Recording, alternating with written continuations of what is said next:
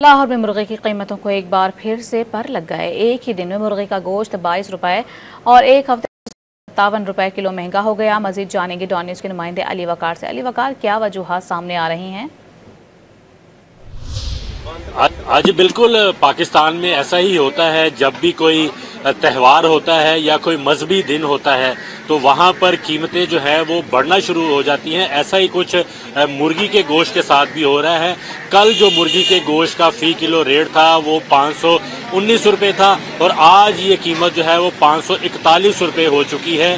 शहरी यहाँ पर ख़रीदारी के लिए मौजूद है। उनसे पूछते हैं, क्या वजह समझते हैं इस इजाफे की? पाकिस्तान है ना, पाकिस्तान में कोई पूछने वाला नहीं है। अब नौ मुहर्रम आ रहा है, आज सात मुहर्रम है।